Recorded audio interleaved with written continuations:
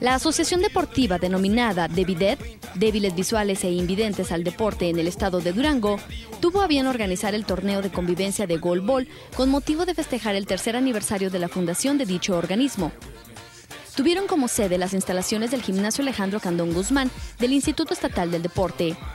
En la categoría varonil, el primer lugar fue ganado por el equipo de Devidet, integrado por Luis Eduardo de la Peña de la Rosa, Alonso Muñoz Verdín, José Isabel Contreras Rodríguez, José María Reta González y Mario Hernández Martínez.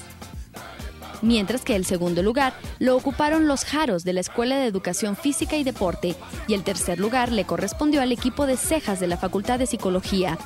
El campeón de goleo fue Luis Eduardo de la Peña de la Rosa con 14 anotaciones. En la categoría femenil, el primer puesto fue para la Escuela de Educación Física, seguida por la carrera de Educación Especial de la Vicenet, dejando en el tercer lugar a las Diablas de la Escuela de Educación Física.